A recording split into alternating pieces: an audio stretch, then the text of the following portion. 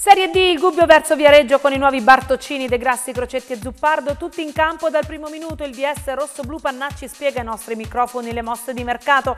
Il Città di Foligno ufficializza gli ex rosso-blu dagli L Balistreri, già in campo nel derby di Spoleto. Domenica, domenica alle 14.30 su RGM torna diretta sport, alle 20.30 su TRG c'è fuori gioco. Buonasera, ben ritrovati al TG Sport, seduta pomeridiana per il Gubbio atteso domenica a Viareggio per l'ultima partita del girone d'andata del girone E di Serie D oltre che del 2015. Tutti i nuovi acquisti a disposizione per Mister Maggi, eccezione fatta per l'infortunato Calombo destinato a rientrare nel 2016 al pari di Petti, mentre Croce è squalificato, Romano resta in forte dubbio e dal massimo andrà in panchina.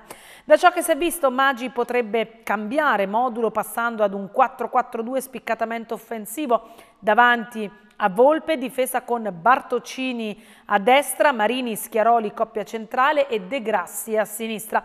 A centrocampo in mezzo toccherà a Barbacci assieme ad uno tra Tibolla o Cuccia, mentre sulle fasce agiranno Ferretti a destra e Ferri Marini favorito su Sciamanna nella corsia opposta. In attacco spazio al tandem nuovo di Zecca formato da Zuppardo e Crocetti con Bortolussi valida alternativa. Ma sentiamo al microfono eh, il DS Giuseppe Pannacci un Gubbio che ha cambiato tantissimo, ma ha cambiato forse anche in meglio, forse un chiaro segnale anche da parte della società di voler provare fino alla fine a vincere questo campionato. Ma questo è il messaggio che era stato trasmesso sin dall'inizio, nonostante siamo partiti tardi, quindi noi sapevamo che questo campionato deve essere un campionato che Gubbio deve farlo da protagonista, per far questo ci siamo attrezzati sin dall'inizio, poi abbiamo visto che stava facendo sicuramente alcune situazioni dovevano essere in qualche maniera anche dietro indirizzi tecnici, tecnici eh, riviste, quindi ci siamo adoperati già per tempo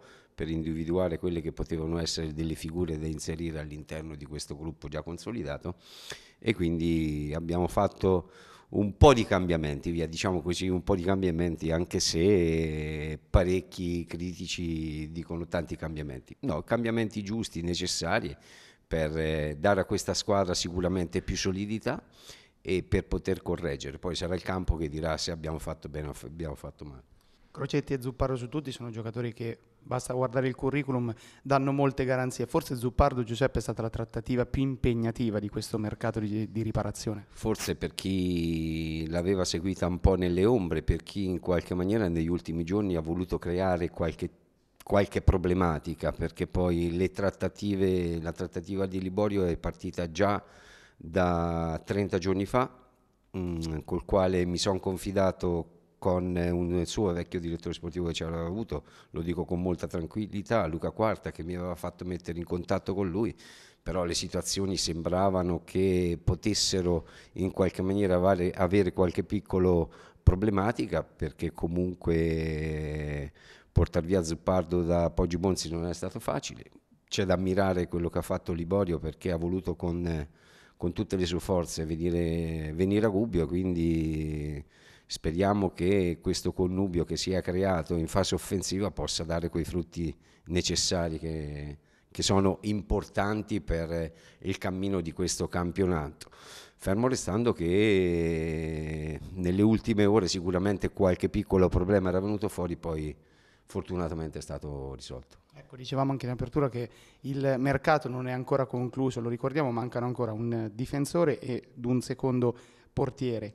Eh, quando se, ovviamente ci sarà una conferma anche dei nomi che sono arrivati, si parla di, eh, di, Petrachi, ex Monza, ma anche di Niccolini che è in uscita dal Padova. Confermi questa voce oppure ci sono anche delle novità riguardo? No, c'erano, c'erano sicuramente. Petrachi tramite Torino si era in qualche maniera affondato il colpo su quello che poteva essere una soluzione eh, in alternativa a, a, Volpe come 97, eh, poi le situazioni si sono un pochino traccheggiate, quindi non è più possibile perché ormai lui è vincolato con il Monza, a meno che all'ultimo minuto non hanno fatto un trasferimento, quindi eh, sicuramente Petrarchi non arriverà. Nicolini, teniamo i diti incrociati, penso che sia un discorso difficile, ma non ci muoviamo solo su questo, quindi ci sono altre situazioni sicuramente situazioni importanti, ci possono essere dei ritorni, quindi stiamo lavorando, lavoriamo in segreto, in silenzio soprattutto e col massimo rispetto per tutti. Giuseppe Pannacci non si deve togliere nessun sassolino le scarpe perché quello che faccio lo faccio da Egubino con vera passione, vero cuore per eh, questi colori e soprattutto per questa città. E proprio due ex Gubbio freschi di svincolo vanno a rafforzare il città di Foligno. Si tratta del difensore Rocco D'Aiello e dell'attaccante Pietro Balistreri, già disponibili per l'impegno dei Falchetti di domenica a Spoleto.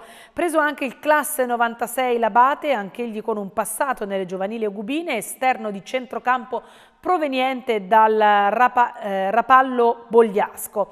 Non fanno più parte della rosa folignata invece il centrocampista Esposito e l'attaccante Luparini. Per il Gualdo Casa Castalda invece c'è un altro ex rossoblù, ovvero la mezzala Filippo Fondi. I gualdesi saranno di scena sul campo della Pianese. Il città di Castello anticipa domani con la San Giovannese alle 15 al Bernicchi senza gli squalificati Marconi e Missaglia, mentre il San Sepolcro sarà di scena a domicilio domicilio della capolista Montecatini. E ricordiamo che domenica torna diretta sport in onda alle 14.30 su RGM e sul canale 604 del Digitale Terrestre con la diretta delle formazioni umbre di Serie D. La sera poi eh, ci sarà ovviamente l'appuntamento alle 20.30 con Fuori Gioco. Eh, parleremo in diretta sport anche di eccellenza, il eh, campo principale comunque della giornata di domenica sarà lo stadio dei Pini di Viareggio dove è atteso il guppio dei tanti volti nuovi guidato da mister Magi. Serie B in campo al Curi alle ore 21 il Perugia al cospetto del Livorno per l'anticipo della diciannovesima giornata di campionato di Serie B. Mister Bisoli è costretto a rinunciare agli infortunati Fabigno, Salifu e Alassan. La buona notizia sta nella convocazione di Spinazzola recuperato in estremis insieme a Rizzo e Zapata. Il Grifo è chiamato a fare risultato al fine di riagganciare la zona playoff e cominciare nel modo migliore un trittico ravvicinato di partite, visto che il 23 i biancorossi sfideranno in trasferta la Pro Vercelli e il 27 ospiteranno il Vicenza nell'ultima gara del 2015. Si gioca anche la prima giornata di ritorno in eccellenza, la capolista Trestina sfida a domicilio il Petrignano, ma il match clou di giornata è il duello tra l'inseguitrice Villa Biagio e Castel del Piano, separate da due soli punti in classifica. L'altra inseguitrice, Subasio, attende la Narnese, mentre per il Ventinella c'è la trasferta sul campo della Pontevecchio del neotecnico Mattoni. Il San Sisto sfida il Todi. Esordio a Bastia per il nuovo allenatore del Cannara, Luzzi, l'Angelana cerca punti a Massa Martana, mentre è sfida salvezza tra Trasimeno e Torgiano.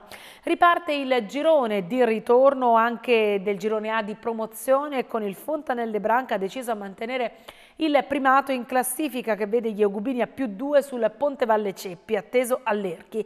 I bianco-blu riceveranno domenica al Santa Barbara la Pievese anche per riscattare la sconfitta 2-0 subita all'andata.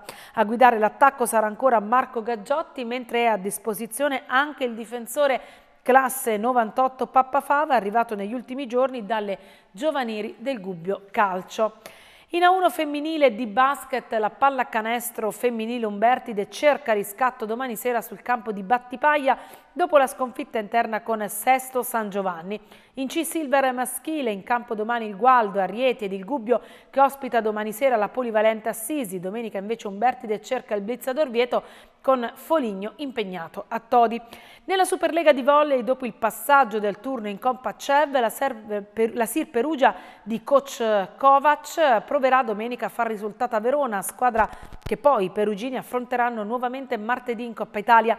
In B2 maschile Trasferta marchigiana da Pignano per Argherardi Carto Edit Città di Castello, mentre in B1 femminile la TUM Perugia affronta al Pale Evangelisti le modenesi di Montale Rangone con San Giustino che sarà invece di scena a Bologna. Infine in B2 la New Font Mori Gubbio proverà a chiudere l'anno con il sorriso sul campo delle Fermane di Torre San Patrizio.